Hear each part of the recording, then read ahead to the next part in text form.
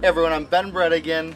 Uh, I am super excited to be sharing with you today what all goes into my Summit system and how I use it. Now, first things first, uh, this will be the third season now that I've used this Final Rise vest and it has been absolutely fantastic. I can't tell you guys how much I love this vest. Um, it, it just fits like a glove right now. So the other thing is I've got this thing completely dialed for the way I hunt, whether it's grouse and woodcock in the north woods, all the way down south to quail in Arizona New Mexico. Um, it has served me very well and um, I've got it where I pretty much want it now. So uh, what we're going to do is we're going to start in the uh, left front pocket right here. And what I do is, first of all, I run a Pro 550 as well as my Alpha 100. And I keep my Pro 550 in my left pocket because um, I run dogs with this one so I can I can use the, the, the stimulation on this one and be carrying the gun in my right hand. Um, as well as a lot of the times as I have I'll be shooting two different calibers uh, during the course of a trip, normally 20 and 28. So the gauge I'm always shooting is going to be in my left pocket. I'm holding my gun in my right so I can grab shells quickly. So uh, I bet I was in New Mexico last and I was probably shooting 20 gauge. Yep, Federal Top Gun number 8. So uh, I keep my shells in there as well as um, I always tuck my pockets in. Uh, unless I'm transporting, I rarely, if ever, have them zipped. Uh, another thing I keep in this is I have on this loop on the front, I keep a pliers for pulling out whether it's porcupine quills or uh, cactus spines, so that always stays there. And I also have backup pliers as well. Normally when I'm out hunting, this is where my keys go. There's this front zippered pocket right here that is definitely where I keep my keys because I have had them fall out of my pocket before. So um, just pick a spot, a zippered spot that you're generally not going to go into, um, and that's kind of what I suggest. So uh, flipping over on the other side here, uh, I have got on my right side, I clip on my Garmin Alpha, and same thing with the 550. I always tether it to this D-ring right here. This clips on the outside because generally don't really use it. I'm running the electronics off of my 550 and I am running the Fenix watch so I can see where my dogs are. Um, and generally I don't fuss with the Alpha, so it clips right onto this MOLLE on the outside right here. And then uh, the shell that I'm not shooting is uh, going to be in my right pocket because I'm always grabbing from my left. So I've got, I think, some more Federal number eights right here for quail hunting. So those go in the other pocket. Grab shells out of my left. These are my other gauge. So then I'm not having to pull out all my shells, and retool every time I go. I can just swap pockets. So that's kind of what I do on the front. Again, both of these stay open like this.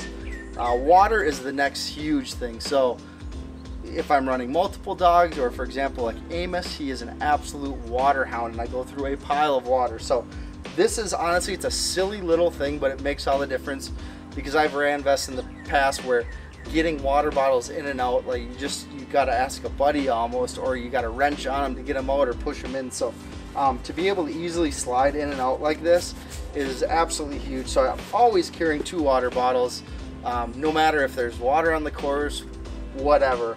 And then on hot days or if I'm running multiple dogs uh, actually Matt Davis showed me this because I was like dude I need more water bottle pockets. I just don't want to just stack them up in the back of my vest. He's like well check this out. So there's a pocket on the side here and you can slip your water bottles in on either side. So hot weather hunts I've got water bottles on both sides here as well as it looks like I keep a spare lighter down in here as well which is nice to know. Transitioning to the back of the vest or on the inside here there are three pockets along the back one right against your lumbar and then two uh, on each side so we will just start pulling things out. So first thing is I have a thing of vet wrap. My old dog, she's got a limp, she's got a bad leg, so I normally always boot her her one foot, uh, or in case a dog gets beat up, I've got vet wrap right here. Then next to it, I always keep a pair of gloves right in those back pockets, uh, as well as to go with the the gauze, I've got the boots. I carry four just soft dog boots right here.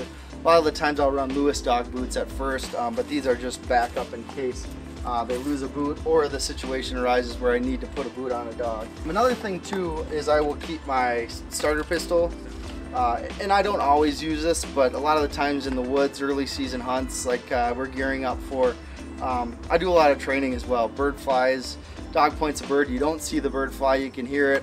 I'll pull this out, shoot it, use it as a training opportunity. So normally when I'm running that, I'll run that on my belt and clip the D-loop to my belt as well. And then obviously, uh, you know, in addition, you've got still a pile of room for birds. I have fit a Kansas full limit of pheasants, four pheasants in there, which that's a lot of weight, but you can definitely do it. So transitioning back to this back panel here, um, a lot of people don't know this, but there is an actual pocket behind this thing. And what I keep in there is spare slip lead. Now I normally always use a wonder lead, uh, and I'll tuck that in the back of my vest when I'm hunting, but you never know a situation arises, that falls out, you've got your buddy's dog, you just need to keep them under control, something bad happened. Uh, I just keep a cheap little nylon slip lead in the back here as well as four important things. This is my Hail Mary. so I always keep I always keep 220 gauge shells and 228 gauge shells just in case I run out of ammo and the action is still hot and heavy. So um, that always stays in there. You can see on my vest uh, what I run is I it's the Summit system as well as the rear bag and the jacket lashes. Um, pretty minimal, but you can fit a ton of stuff as we are going to illustrate here with this rear pouch. So we'll open this up and right off the bat I've got a just a disposable skin stapler, um, something really easy, dog gets cut, I can quickly fix that in the field. Uh, I have got this, which if anyone recognizes this, it might be yours because I found some weird stuff in here. But uh, normally what I carry is, is uh, these are just big squares of gauze. Uh, if I've got a pack of wound, as well as some isopropyl wipes, more gauze pads, band-aids, and then the weird thing that I found, let's see if I can, it's still in here, but this is why that might be somebody else's because I've never used these in my entire life, and here they are, breathe right strips. I have no idea why they're in here, but so, that's why I say, if anyone, any of my hunting buddies that recognize this, might be yours. Uh, moving on, uh, I've got another thing of vet wrap in here.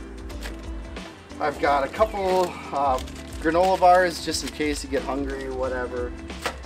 Uh, I've got uh, electrical tape, and normally I also carry duct tape, like a half roll of duct tape always stays in the back of my vest as well for boots, cuts, whatever. Got a pocket knife that I keep sharp and it stays in there. I only use it in case of emergencies. Um, an extra pair of, of warm gloves for when it's cold out. Then I have this, which is just an old pill bottle, but uh, it's it's QuikClot. It's a powder. You can kind of see it's this this granular powder. And what what I use it for, and I've had to use it not in bad situations, but essentially, um, dog gets cut, you get cut, and you need to stop the bleeding quickly.